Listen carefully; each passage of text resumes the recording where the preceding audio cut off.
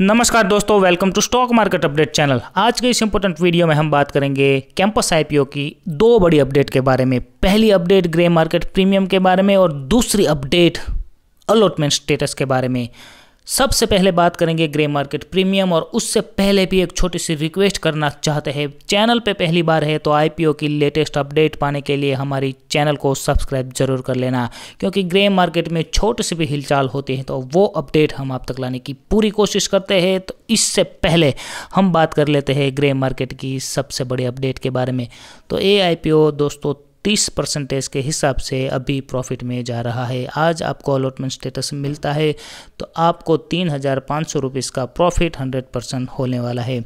अब दोस्तों बात करते हैं इस आईपीओ का अलॉटमेंट स्टेटस के बाद, आपको कहाँ और कैसे चेक करना है? तो बीएससी की ऑफिशियली वेबसाइट पे इस आईपीओ का अलॉटमेंट स्टेटस आपको सिंपल तरीके से अपने पैन कार्ड के ज़रिए देखने को मिलेगा।